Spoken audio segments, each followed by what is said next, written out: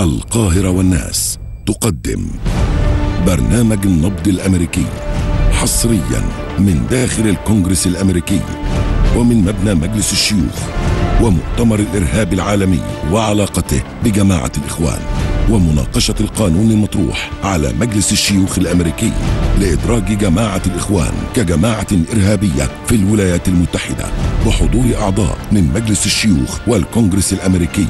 وعلى رأسهم مستشارة الأمن القومي فيكتوريا كوتس والسيناتور تيد كروز المرشح السابق لرئاسة الولايات المتحدة وعضو الكونغرس مان لوي جومارت والسفير الأمريكي فرانك ويزنر والدكتور هيرب لندن وبحضور ممثل من الخارجية المصرية يعقد المؤتمر يوم الأربعاء الثالث عشر من يوليو في الساعة الواحدة ظهراً.